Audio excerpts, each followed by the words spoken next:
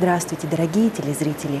Я стою возле византийской иконы XIV века Богоматери Дигитрия, которую можно увидеть на выставке «Шедевры Византии» в Государственной Третьяковской галерее. С этой выставки наш сегодняшний рассказ в передаче «Хранители памяти».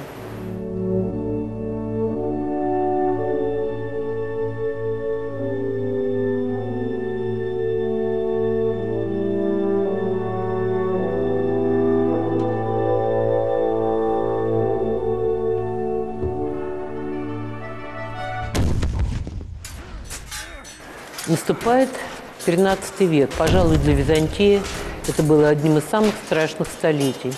Четвертый крестовый поход.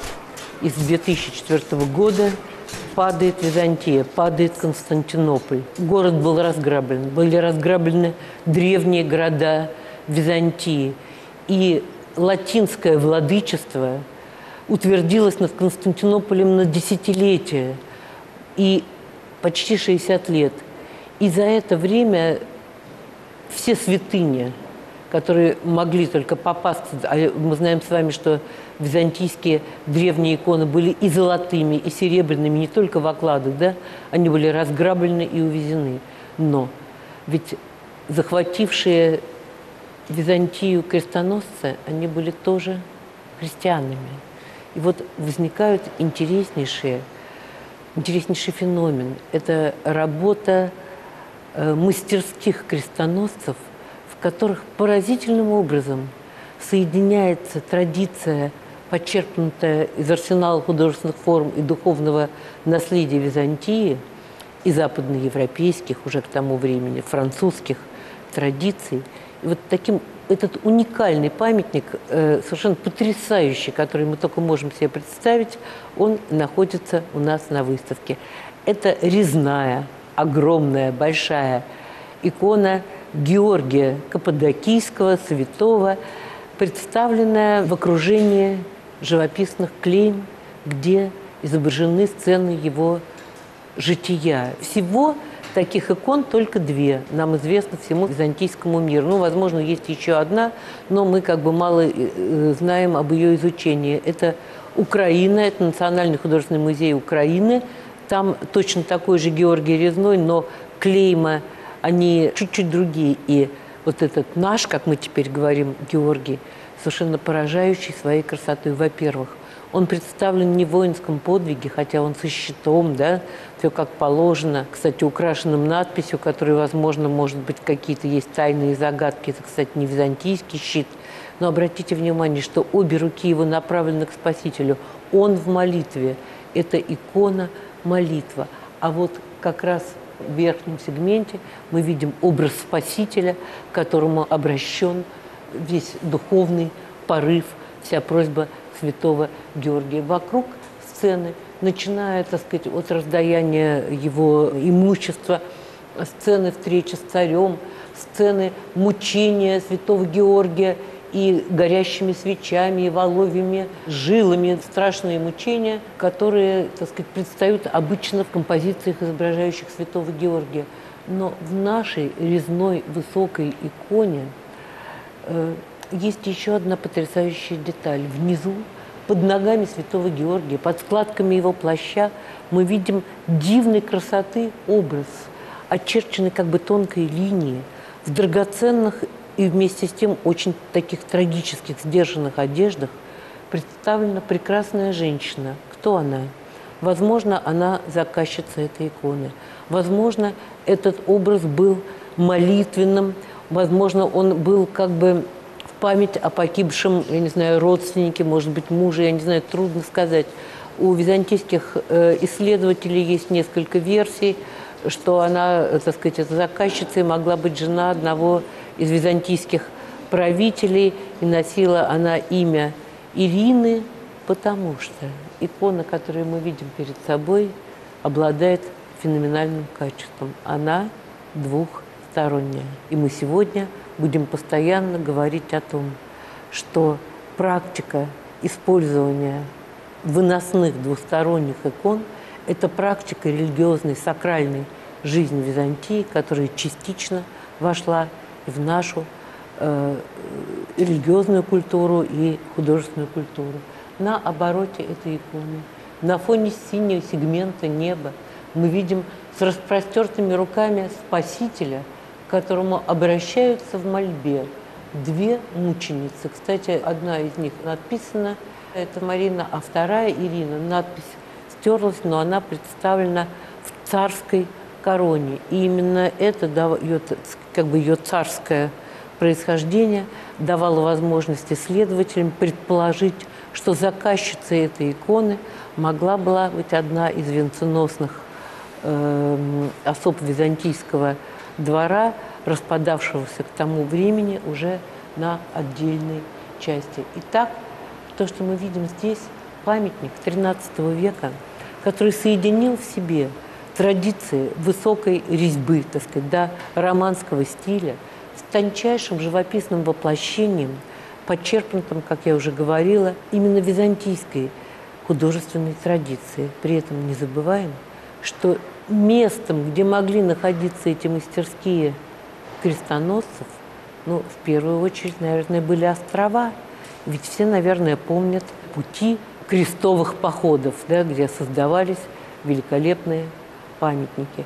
И, наверное, мы уже должны сказать о том, что после освобождения Константинополя в искусстве, в культуре Византии мы можем выделить и чисто такой столичный стиль, роскошный, прекрасный, и стиль живописи, имеющий не меньшую наполненность, но обладающий уже вот на островах да, какими-то своими особенностями.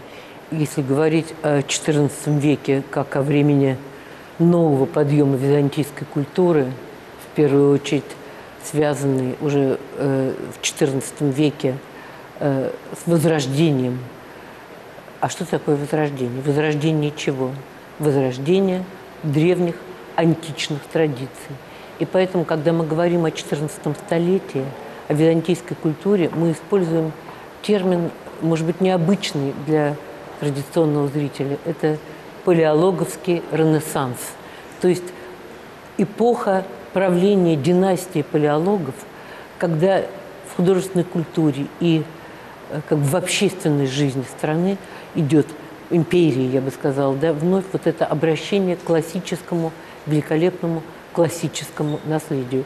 И, наверное, одной из самых главных участниц жизни Византии этих лет была не только София Константинопольская, но и знаменитые э, монастыри, и в том числе прославленная чудотворная икона Адигитрия, то есть путеводительница, которая имеет разные названия и от монастыря Адегон, и потому что она путеводительница, но всегда она предстает в одном и том же облике.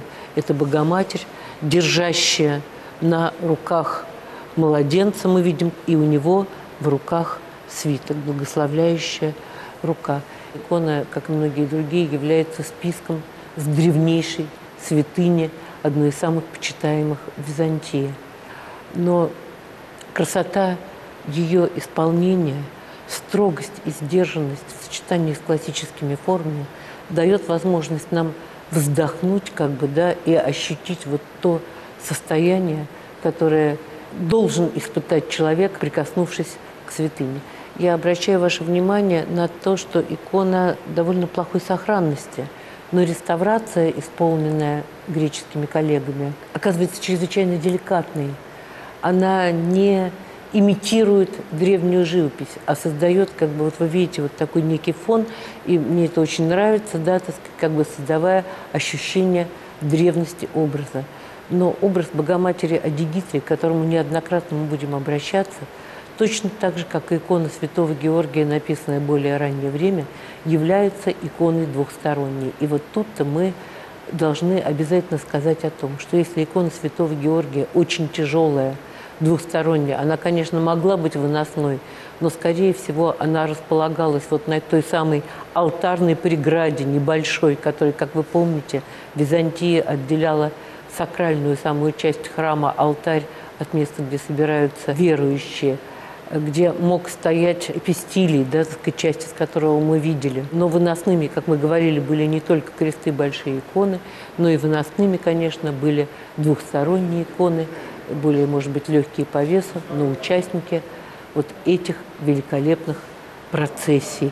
На обороте иконы Адигитрия мы видим в данном случае не только на этой выставке, но и вообще в истории средневекового искусства Византии и Европы.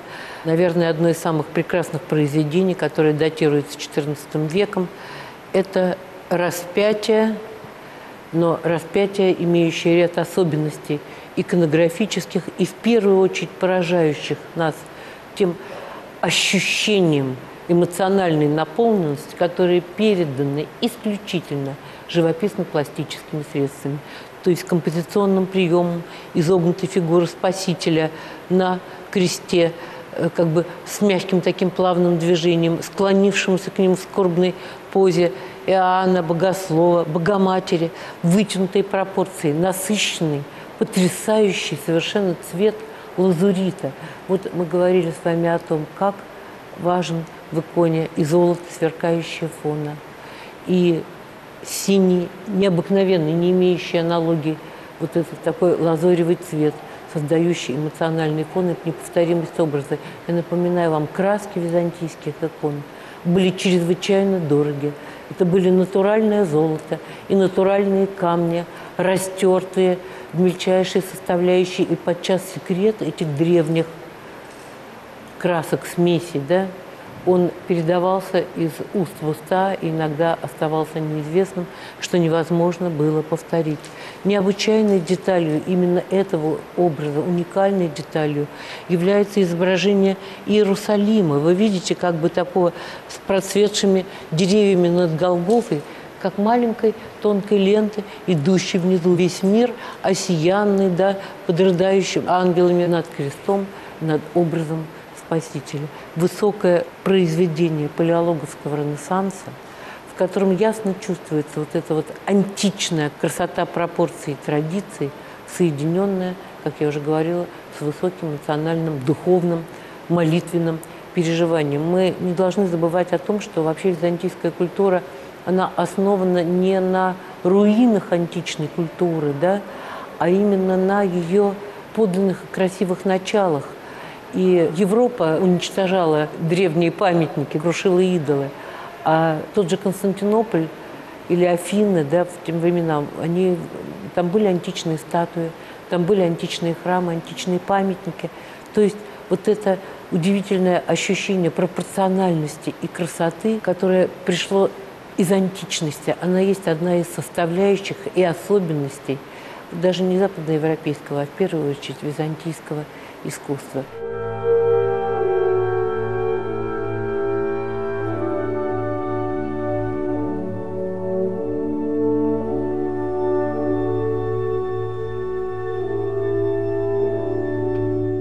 Дорогие телезрители, время нашего сегодняшнего эфира подошло к концу.